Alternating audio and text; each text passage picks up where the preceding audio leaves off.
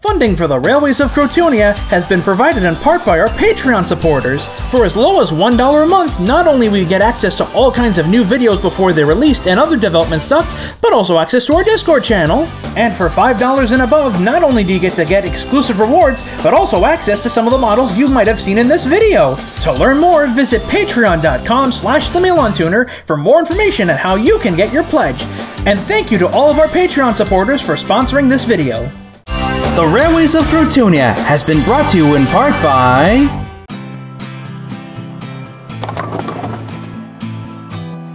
Here at Super Bowl Lanes, we're about fun, community, and involvement. Whether you're at the grill or the alley, at Super Bowl Lanes, it's always a good time.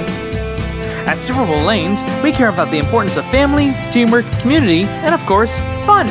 Super Bowl Lanes is a proud sponsor of the MilanToon channel. Super Bowl Lanes, let the good times bowl.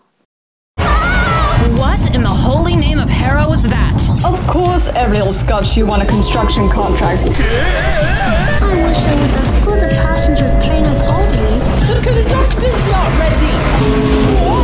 Hang on, it's going to be a bumpy ride ahead. Oh, Runaway train! Mighty machines, big and mighty machines, working for you, doing mighty things. There,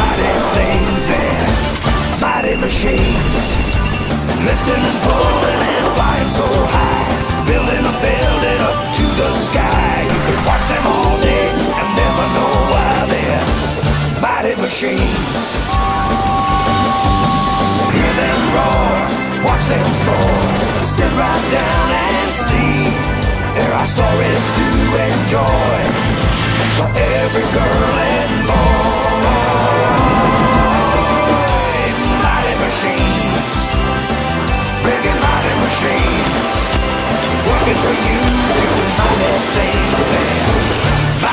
Mighty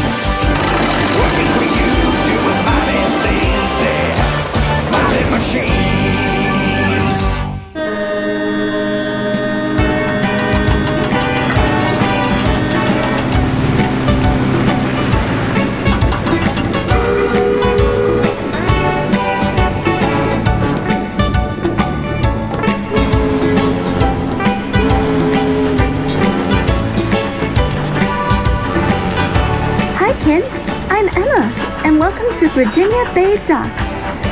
Where's the place exactly? It's on the east coast of this little country called Crotoonia. There's lots of docks here, and this is one of the busiest. Huh. Rotten big boats. Leaving me to park on the pier to wait for ages to make deliveries of rust. Can't believe the nerve of some of these boats. Oh, hi Bulstrode.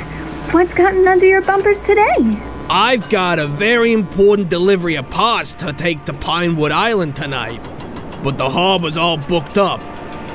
I've to wait here until there's an open dock to be loaded. Oh, what's wrong with waiting around? I'm taking the day off to rest my wheels myself. Well, you don't have important cargo to tow today.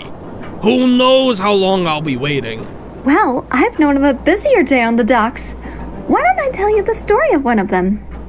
Well, I suppose I got nothing better to do.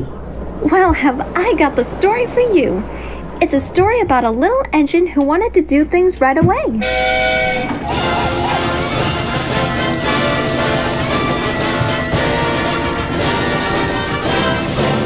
One day, the harbor down at Gardenia Bay was very busy.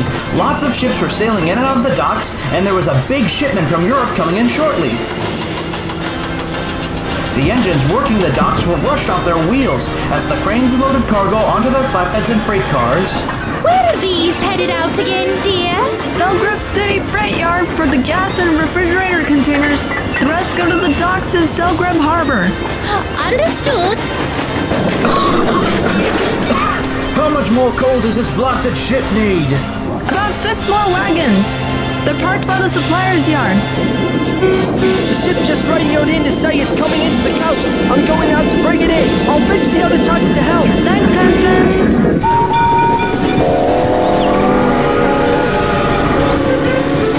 It soon became apparent that other engines were needed at the docks, since there was too much for the harbor yard engines to do on their own. Morning, Pepper Pete. Hi, Edward phone in, Maisie! It's Tracy, Pete. Tracy. Oh, that's what I said, didn't I? Anyway, what are you off to this morning? Some mail got misdelivered? Nope. I'm heading off to the docks. The docks? That's a busy place for you to work at. Yeah, but I've worked there before, so I can take care of myself there. Hope it all goes well, then. Good luck, youngster. Just mind the bigger work you're given. I will. Tracy made record time getting to the harbor. She couldn't wait to start work by the beautiful seaside.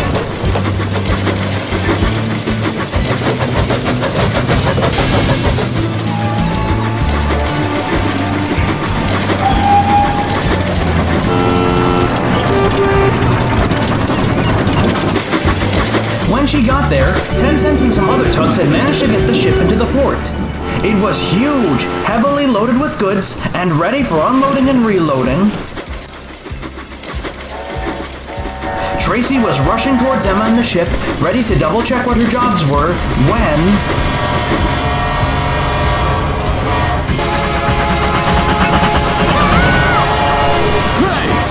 Watch where you're going, you dinky little engine. Important engines with more important freight coming through. Oh no, not Cerberus and Diesel 10. What are they doing here? They've come to help out with the heavy goods. What? Them? Why couldn't you get someone like the haulers at the Grothlin docks? They're really busy too. We didn't have a lot of engines free today with all the deliveries coming in, so we've had to work with all we've got. Well, I suppose that's understandable. So, what do you want me to do today? Shunting big trains on the main dock again? Sorry, Tracy, not this time. I need you to help Trix and Skip at the supplier's yard. They've got a lot of deliveries and materials to get out, so they need someone to help sort out the trains. Okay. Um, who's Trix and Skip? You'll find out. They're a nice couple of machines. Emma was right. Trix and Skip are as nice as they are hardworking. Trix the forklift zips about the yard loading cargo for the trains and trucks that come to the dock, while Skip takes garbage from the building sites and yards down to the dump. Whenever he's paying attention, that is. Rattling rods! Look at all this stuff! Oh, you must be Trix and Skip. We certainly are. And you've got to be. Oh! Ouch! Tracy! Indeed, I am. So, what do I have to shift? Oh, well, for a start, you can shove those bricks and lumber together. They're going up to Prillam for the new townhouses. And then you can get those empties to Cranky so he can load up the special Stepha stuff that just arrived for the mainland. I'm on it. I'll get it done in no time. Ah, flat. Down by the docks. That's the place to be. Down by the docks, the gateway to the sea. Down by the dockside, we are the team, working together, just like family. Down by the docks, you're never on your own. Down by the docks, it's really home from home. Down by the dockside, down by the dockside, down by the dockside, it's where we want to be.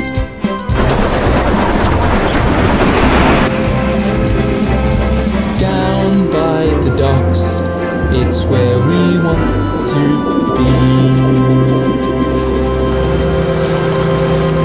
Later that afternoon, Diesel 10 and Cerberus were just heading out to the Gradinia Bay goods depot with a long line of cars when Diesel crossly rolled alongside. And where do you think you two are going? Another load of crummy wagons. What's so bad about that? We've got a load coming in from on those narrow gauges at the junction, and one of you has to take it. Ugh, don't see why it has to be us. We've been hauling all morning. I know someone who would. Hey, Diesel! What's up? Dockmaster Noisy just said you've got a special to pick up from the junction. Really? A special? Oh, yes. Some goods from the hills going down here. They need those wagons urgently. Wow, that's something for a little engine like me. Tracy, are you sure we should do that? And from orders from Debrius Diesel? That delivery from the junction here yet? Not yet, Dockmaster. Should be here soon, though. Well, what do you. Oh no! Tracy had wasted no time getting to the junction. The cars were already waiting for her, freshly loaded up with heavy goods. I got these buffers buffed. Now, Tracy was not inexperienced at pulling goods trains, but she'd never really hauled goods trains this heavy before, and usually the goods trains were kept to the flatter parts of the railway. And she was finding out very quickly that they were a lot harder to control than she thought. Are you guys sure she's pulled a heavy goods before? Cause it's not looking like that to me. Yeah, I'm getting vibes she's an amateur. My buffer feels like a cut of switch. Got it. She giving her grief. Like guys, I got an idea. So hear me out. Why don't we like push you down the big hill a little bit? You know, not like in a mean way. Just kind of like you know, hey, teach you for next time kind of way. Not supposed to be hard or anything. Do you really want to do this right now? I mean, if it makes you guys happy, I'm having a fun ride back here. You know what, Joe? I don't always agree with you, but let's do this. Everyone in favor, clank. Good. Let's do it. We'll talk about good timing, cause here it comes now. So is this gonna be like an easy push on her? Because I'm not sure what the plan is here right now. Right. Only about a mile more, and we'll be. Uh, what the? Uh, uh, come on! Slow! S- slow down! I don't think so! Tracy tried to apply her brakes, but it was too late. The cars were pushing her faster and faster down the line, and not even the brake van could help. Help!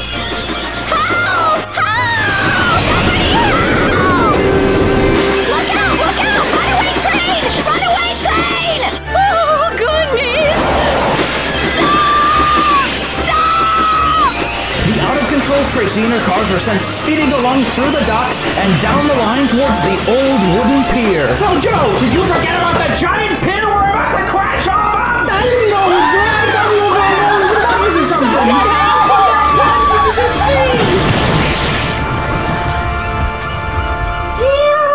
Luckily, Ten Cents had been docking a sand barge near the pier and had set it up to make a makeshift arrestor bed when he saw her coming down. Oh, oh, thanks, Ten Cents. I owe you one. No problem, mate. I'll go and fetch a crane. Then you can get some of that sand out of your valves.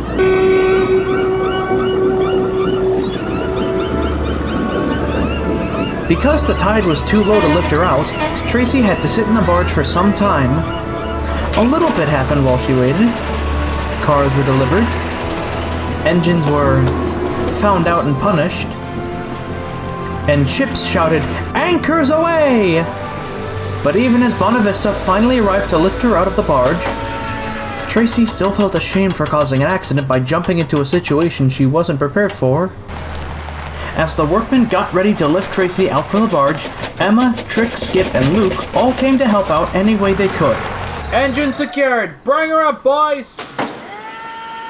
Now, don't be hard on yourself, kid. It wasn't all your fault. Those three were looking for an easy way out of a situation, and you got tricked into it. From what I heard from these two, you were a big help. Yeah, you were a huge help getting all the deliveries out today. Even if you got a little sandy. Thanks, guys. And I learned something else, too. Well, what's that? Ten Cents to trap for the baseball team with his catching skills. oh, I get it! Lucy got you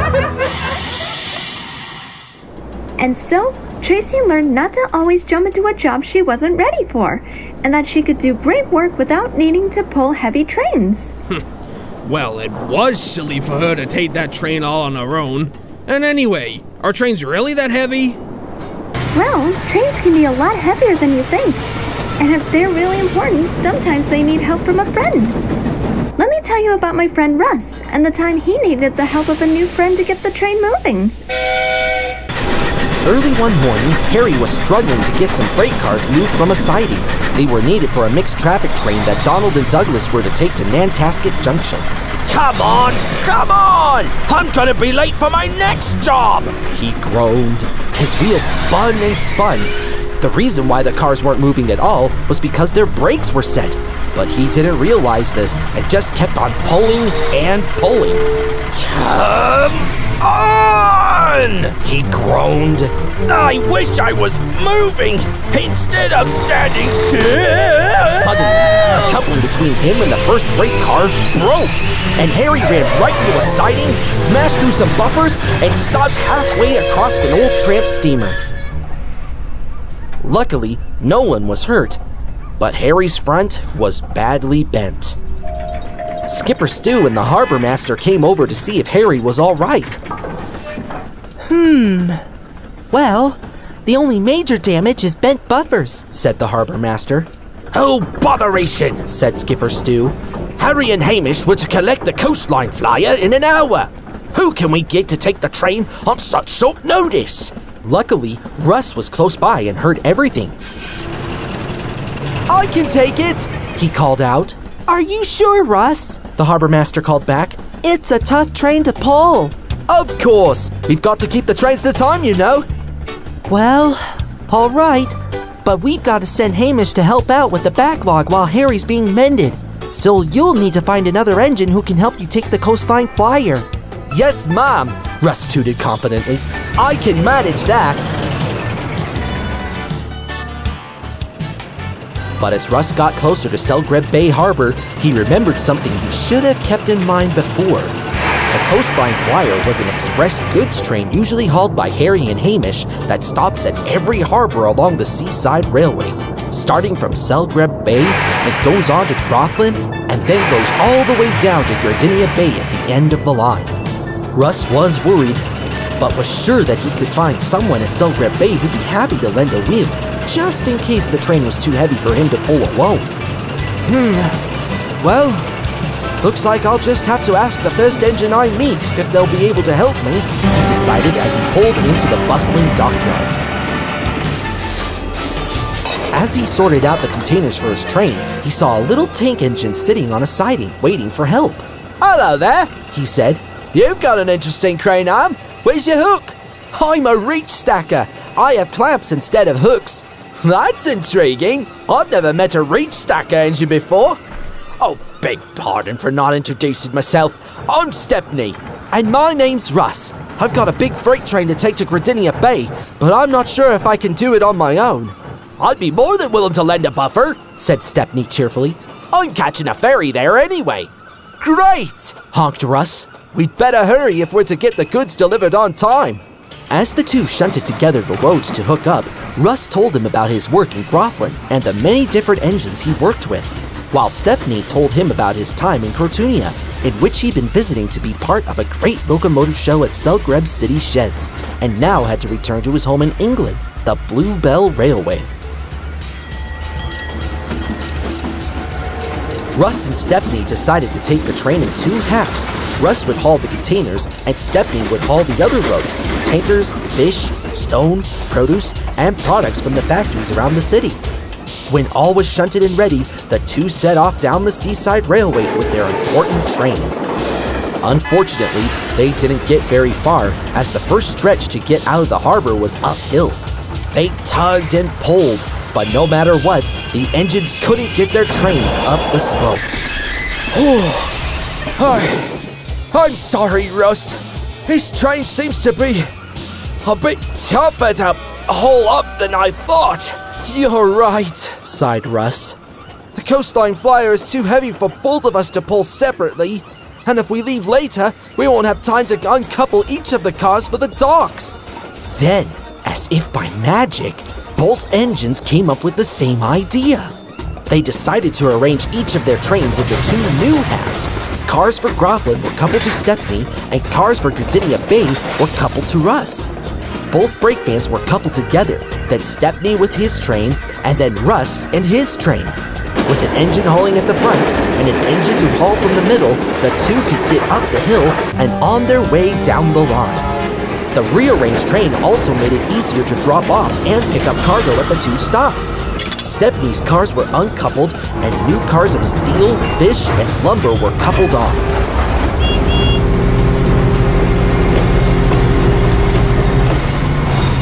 They made it to the docks just in time.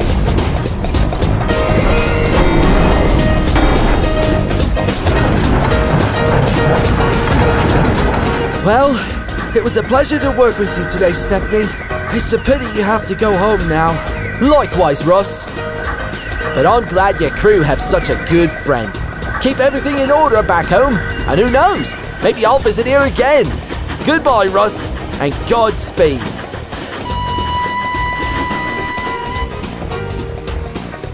Russ then rolled home, confident, ready for bed, and glad he had found himself a new friend.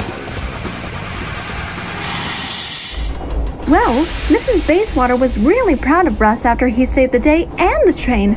So much so, she let him go on a vacation to San Locomoda. Puh, does he really need a holiday?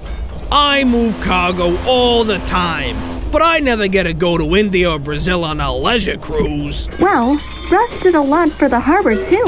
And while he was on his trip, he missed out on some really fun things. Like when Skipper Stroop tried out pulling a passenger train. Skipper Stu is a very efficient engine. Being the dockmaster's diesel of Groflin Harbour, he always works to make sure the docks are tick-tock and on the clock. Unfortunately, this attitude does have a tendency to cause some, uh, problems. One night, as the seaside locomotives were cooling their fireboxes and engines, Skipper Stu was rolling into the roundhouse. The engines were surprised. What are you doing here tonight, Skip? asked Oliver. Passenger detail. The Seaside Rail Co. scheduled a test run for our new express passenger service for tomorrow, but the new engine she bought hasn't arrived yet, so I, of all engines, am to take the train tomorrow. That sounds lovely, said Emma. Not when you're the dockmaster's diesel. I feel like I should stay here and keep things running. But we all help to do that, said Jones the Steam, even whilst we have engines out of action.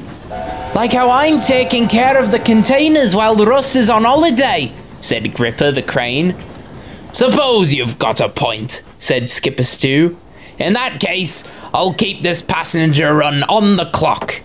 And with that, he went straight to sleep. Next morning, however, showed that not everything would be on the clock. Skipper Stu, keeping in proper Navy fashion, woke himself up well before dawn. Unfortunately, the ship was still far out at sea by the time he got there. Trains came in and out of the terminal, and buses put-putted in and out for a good hour while he was waiting. At last, the big cruise ship carrying his passengers finally arrived and quickly boarded his coaches. Stu's train would only stop at the harbour stations, so the coaches were special for the long trip. There was a break coach, a luggage van, a sleeper, a diner, and a lounge, all coupled together for the long journey. At last, everyone was on board, and Skipper Stu was ready to go. Tick tock, we're on the clock. Off we go, lads, he called out. But the coaches weren't ready.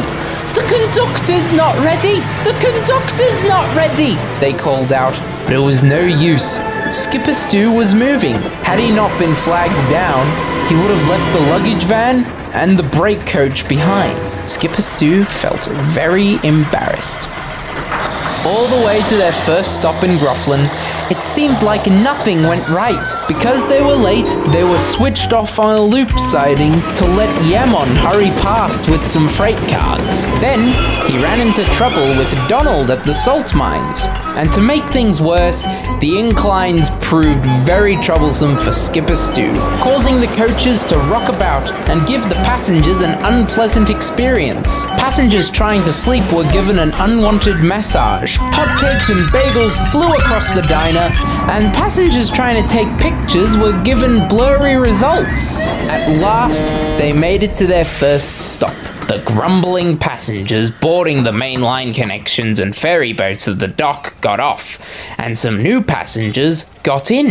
Harry and Hamish, the express freight diesels, were surprised to see their boss worn out and stressed. Oh, how do engines manage this?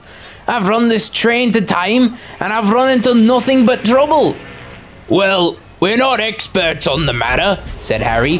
But passenger trains aren't like freight, said Hamish. They're right, you know, said a voice.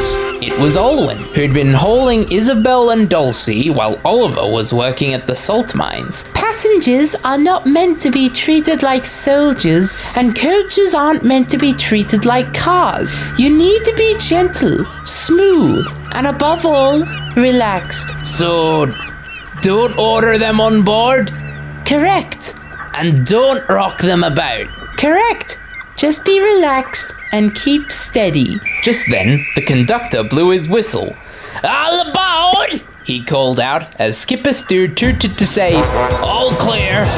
And now, knowing that the passengers and luggage were safely aboard, he started off.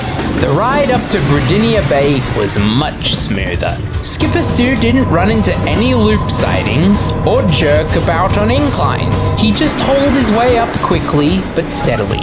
The passengers could sleep comfortably in the sleeper. The diners could enjoy their lunches of hot hamburgers, sandwiches, wraps, and soft drinks. And sightseers could take in the beauty of the Crotoonian coast.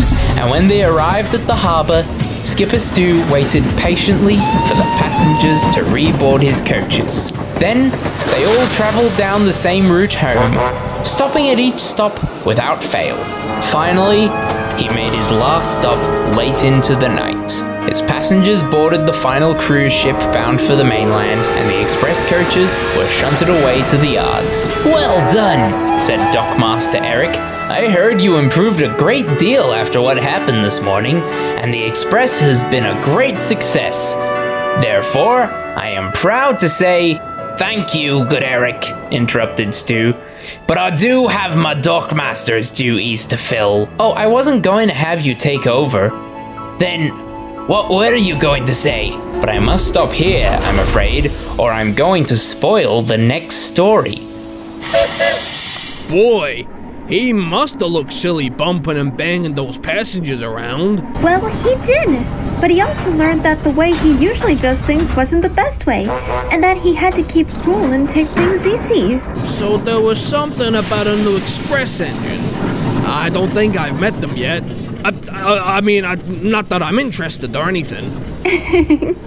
well, that's another story to tell. Here's what happened when Audrey came to town. One morning, Sasha the little local puller engine was at the seaside roundhouse. She noticed Emma turning around to go to Selgra Bay instead of Gradinia Bay. Where are you going? Don't you have something to do? Not yet. Dockmaster Noisy wants me to welcome the newcomer. There is a newcomer? There was. A new engine had arrived to Crotoonia. Her name was Audrey, and she was quite a different engine compared to many of the other Crotoonians. She had a big, bulky buffer beam, smart dark blue paintwork, and a big, sturdy tender. She was about to go on her maiden voyage, and a large group of engines were there to welcome the new engine to the crew with the newly christened Seaside Soarer. Hello, welcome to our railway. Let me know if you need anything shunted. How much coal can your tender carry? But Audrey was very quiet. She didn't seem to care much about the questions and comments. As Sasha arrived backwards, Audrey's first train set off for Broflin Harbor. Sasha saw the powerful engine roar out of the docks. She was impressed by how strong she was and how long and fancy her new carriages were. But then she remembered she was a very small train, with very small carriages, carriages that had to load outside the platform. It made Sasha feel very lowly indeed. Sasha's job was to pull the local, a small passenger train that stopped at every station to drop off all kinds of passengers and workers. Captains to Selgrip Bay docks, miners and crane operators to Bartlett Bay, tourists to Groflin Harbor, beachgoers to Coast View Junction, and workers to Gradinia Bay Junction. The days were long and busy for the little engine, but she loved looking at all the different things on her route. Cliffs covered in moss, waves rippling along the coastline, trees standing proud and strong on their perches, and small seaside towns busily going about their days. But whenever Audrey passed by, roaring with her carriages and important passengers in tow, it always made her feel silly. I look at the scenery, making my passengers late, while Audrey is fast and on time. Later that day, as she was on her way back, she ran down the little line on the cliffs of the salt mines, where she found a very shocking sight.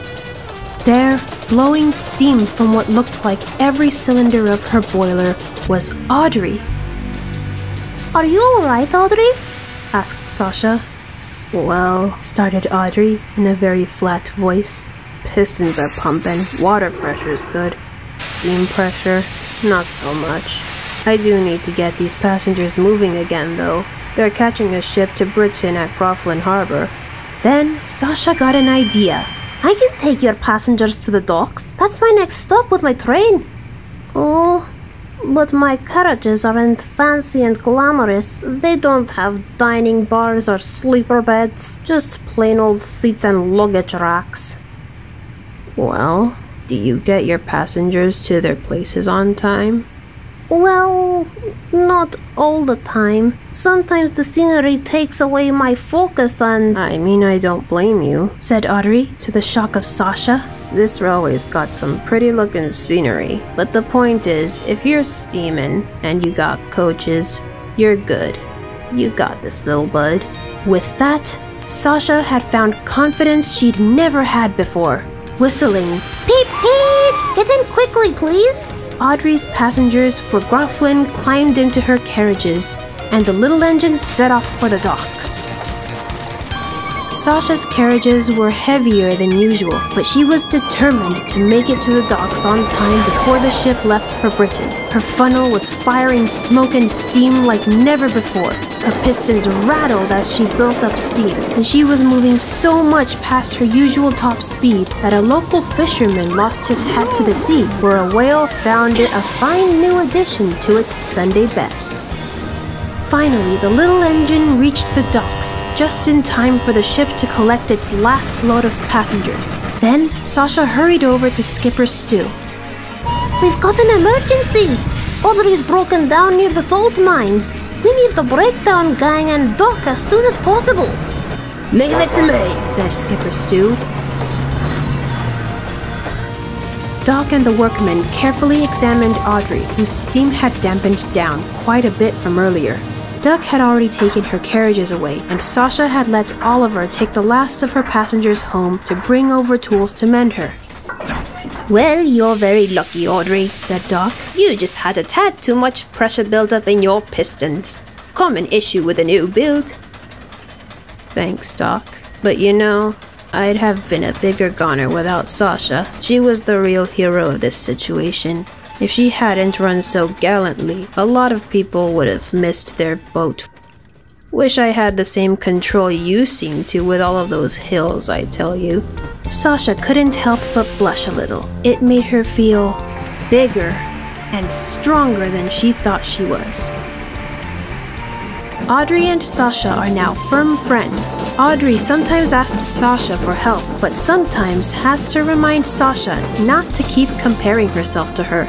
She's an amazing engine, just the way she is. Audrey's always a great friend to see around, and she knows how wonderful the docks can be. Whitewater. There's nothing special about the docks, especially when you're bored with nothing to do. Ten cents wouldn't say so. Yeah? What's that? He'd say, You'd be surprised what treasures you can find at the docks after all. He did come across some treasure by accident once. Treasure? What do you mean, treasure? Well, let me tell you about the treasure of Ten Cents. Theodore and Ten Cents love working on the Crotoonian coast. They work hard bringing ships into port, moving barges, or generally helping out along the docks. One morning, Ariel was at the pier assigning each of the tugs their work for the day. Everyone else had been sent by Eric to help out at the other harbors, so the rest of the tugs had been kept busy. Sunshine, we need you on the oil tanker contract. Warrior, you and Top Hat have garbage to collect. And Theodore and Ten Cents, you're with me on the Beamer Island construction site this morning. I'll see if we're clear to get Bonavista and Barrington. All the tugs were ready to go to work, but Top Hat was cross about having to have garbage before taking an important ship out to sea, and George taking his place at the car ferry dock in Gradania Bay. So he took it out on Ten Cents.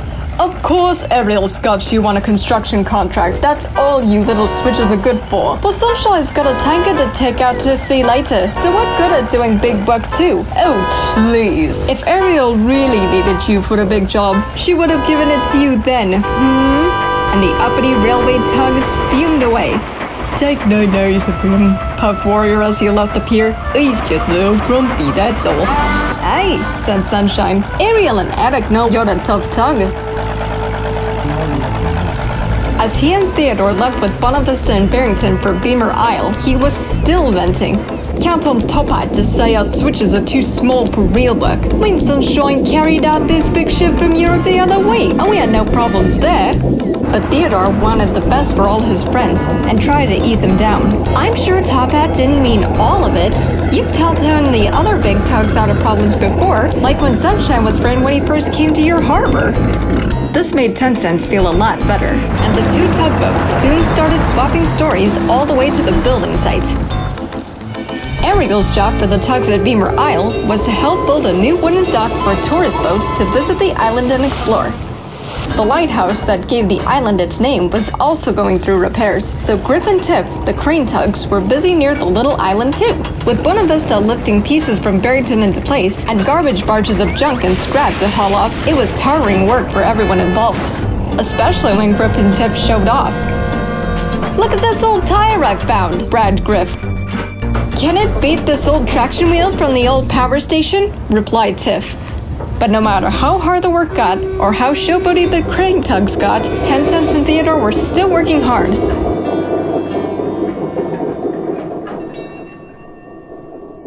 Later, as Ten Cents was off to the garbage docks with another load of rusty tin cans and junk from the bottom of the island, he was rounding a buoy to mark where the bay began, when all of a sudden... Screamed Ten Cents. Look out! screamed the ship as it swerved violently out of the way to avoid hitting Ten Cents. She turned so suddenly that some of her cargo swerved off its base. Some stayed on deck. But one container wasn't so lucky. Oh no! I'm so sorry for spilling your cargo. Don't panic, man, said the still breathless ship. I'm lucky that was an empty. Sorry, I wasn't looking where I was going. You're. Let me guess, said Ten Cents. Really small? No, said the ship. You're pretty easy to spot. Just hard to see when you've got a full load. Could you get that container back, though? said the ship. I need it for some cargo I'm picking up from Panama. Ten Cents said it would be no problem, and he hurried off to find Bonavista and Ariel for help. Sometime later, Ariel and Bonavista had gotten a ship whose name was Shirley to guide her hook down into the bay. A group of other boats had gathered around the spot where the salvage was being done, and Griff and Tiff were teasing Ten Cents about the ordeal. Always making a mess. That's what a switcher's good for, snapped Griff. Betting a tiny tug could lose a big container, whispered Tiff. Okay, Ten Cents, called Ariel. Bring Bonavista near me. Everyone was surprised. The job was done. We've got work to do, complained Griff and Tiff. Is it a monster? trembled Scuffy, the tiniest tug on the harbor. Just bring it down. You're not gonna believe what we found. And so, Bonavista was moved, and her hook lowered, and lowered, and lowered, until. I've hit something, called Bonavista. Probably an old junk barge, said Tiff. That's what my fishing's always found. But when Bonavista raised her hook, it wasn't junk at all. It was a chest. A big old wooden chest. No, it can't be, said Griffin, shocked. Is it? Silver and sticks. It's treasure, called Warrior. Ariel and Bonavista had reeled up a treasure chest. It was filled like a jelly donut with rubies from long ago. It must have been swept over from the great wreck of Old 45, said old Olson the Navy tug. Good find, Ariel. Well, I wouldn't have found it without Ten Cents. All the tugs gave a huge chorus of toots. Hooray for Ten Cents' mistake! Just then, Top Hat came around with a barge of scrap. I say, what's going on here? I've been getting out the rubbish in twice the time Warrior can, so what's so special that's left me in a Bayside blockade? Everyone couldn't help but laugh.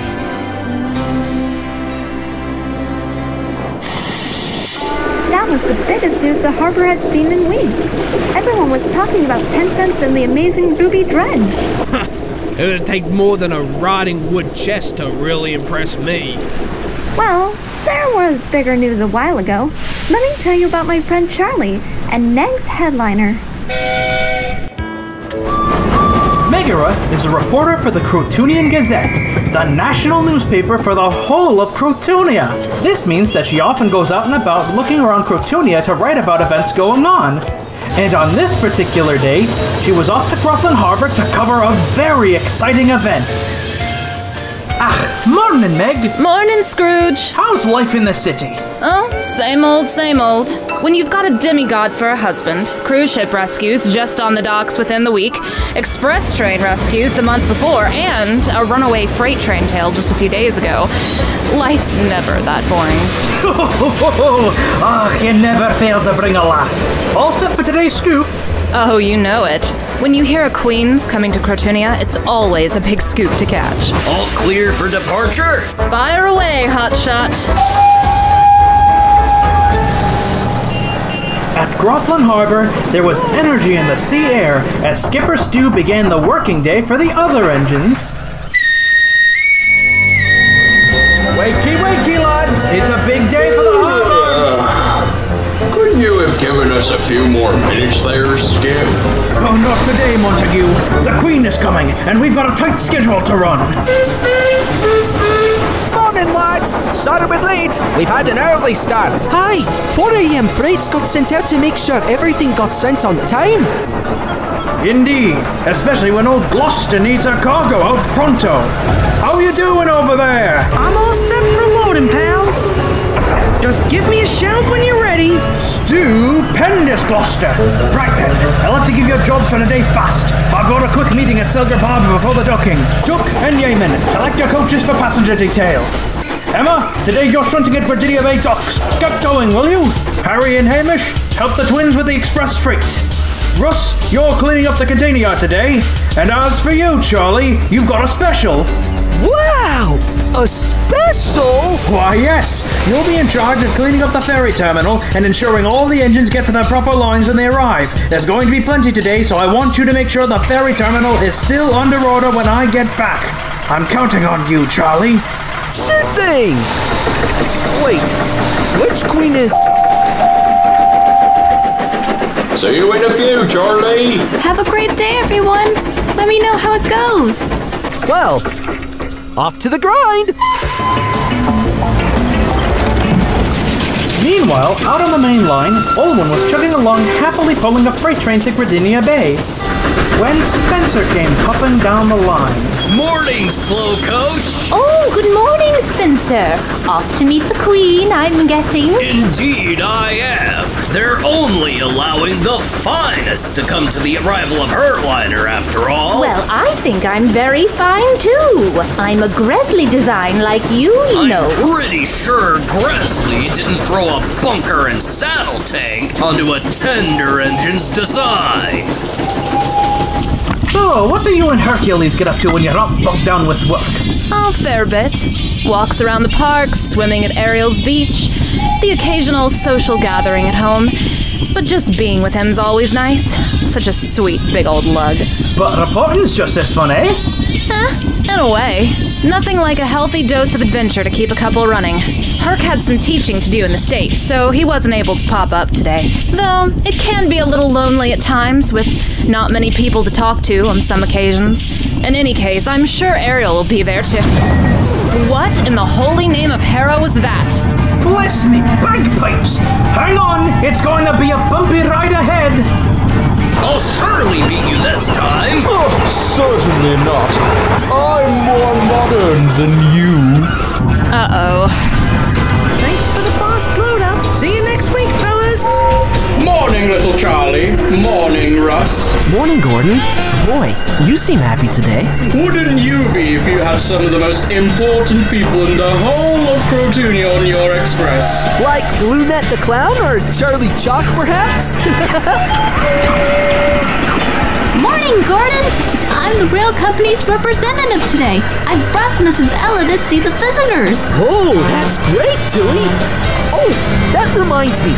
You'll be parked on track 5, and Gordon, you're going to be on track 6 with Sir Reginald. Thank you, Charlie. You're welcome. Oh, oh morning, Harrison. What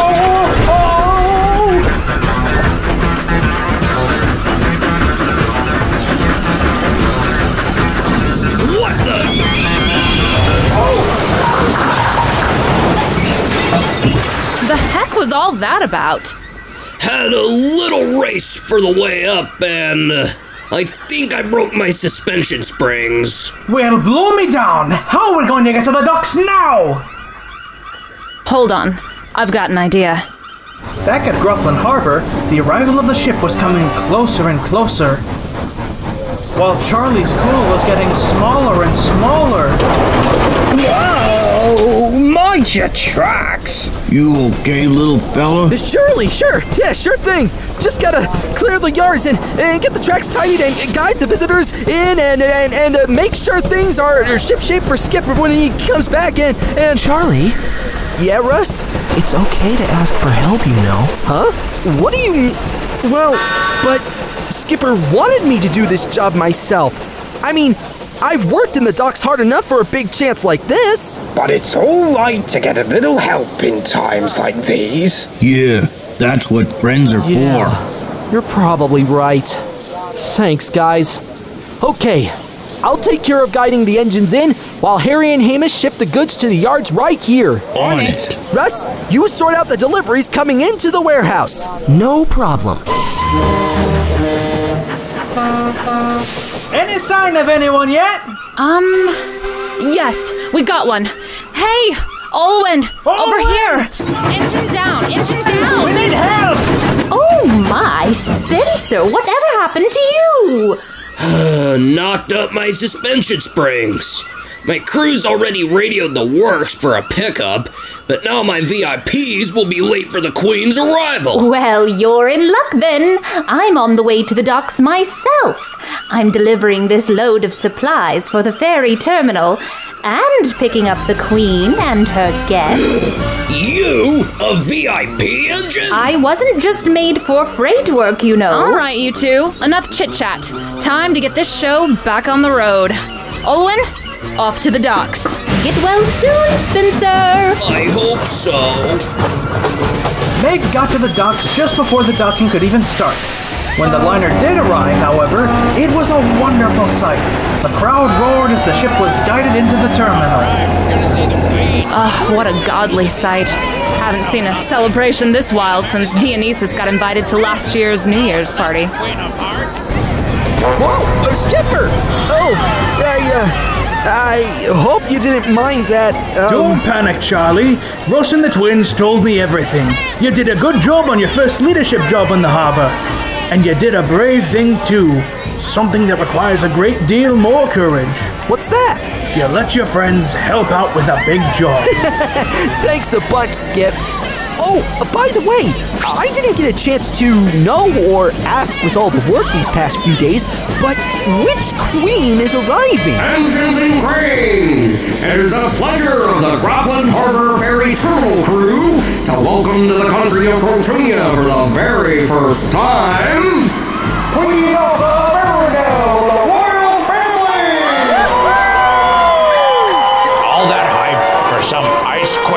Well, she is pretty famous. I suppose so, but you know, I was expecting someone fancier, like a Spanish queen, or, or a French queen, or a Dairy Queen. She has ice powers, Strong Bad. How many queens do you know that have ice powers? Well, I don't know any queens. Scrooge McDuck.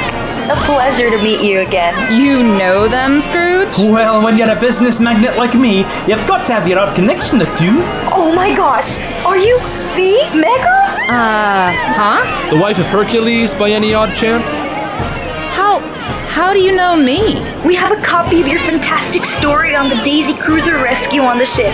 And we heard from our friends about your fantastic adventures with the legendary Hercules. well, perhaps I am that Megara. Scrooge, would you mind? Not a problem. Wow, what was it like during the big rescue? Well, it was quite an adventure, really.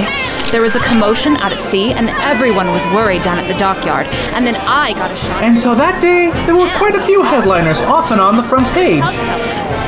Charlie had handled his first big job in the harbor, Spencer was left out of the party, Olwen served as a royal engine, and Meg had not only had a great story, but had ended up making some great new friends. Wasn't that an exciting tale? All full of thrills, spills, and surprises. All right, all right. I get the idea. So, what do you think of the docks now? Well, I suppose it's not all bad hanging around the docks sometimes. it beats sitting out on a beach all day. Attention, Bulstrode! Tilly has arrived at Dock 3 with your consignment of parts. Oh, finally! Well, I can't stay sitting around listening to stories all night. I've got real work to do. You know, that reminds me of when Tilly went on a seaside trip. Who's up for a sing-along?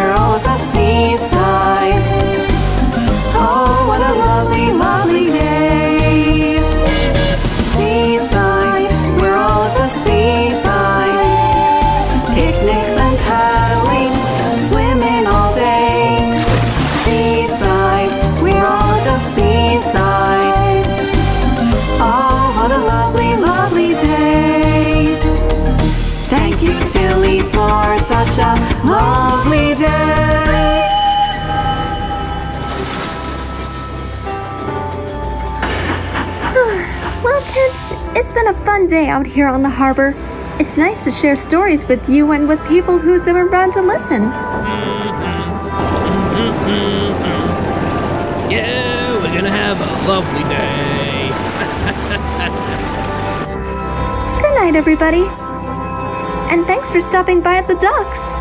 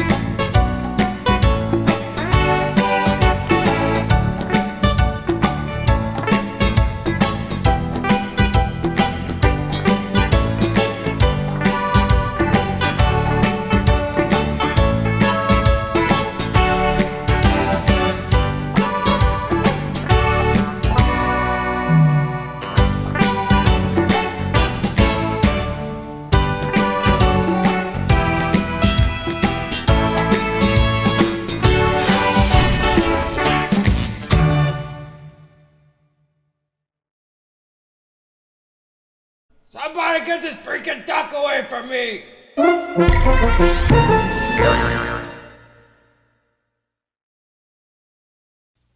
Funding for the Railways of Crotoonia has been provided in part by our Patreon supporters. For as low as $1 a month, not only will you get access to all kinds of new videos before they're released and other development stuff, but also access to our Discord channel.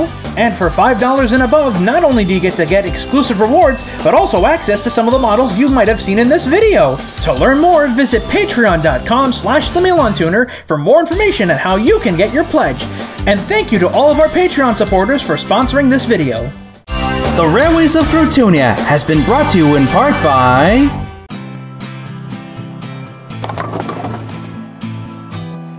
Here at Super Bowl Lanes, we're about fun, community, and involvement. Whether you're at the grill or the alley, at Super Bowl Lanes, it's always a good time. At Super Bowl Lanes, we care about the importance of family, teamwork, community, and of course, fun. Super Bowl Lanes is a proud sponsor of the MilanToon channel. Super Bowl Lanes, let the good times bowl. Thank you.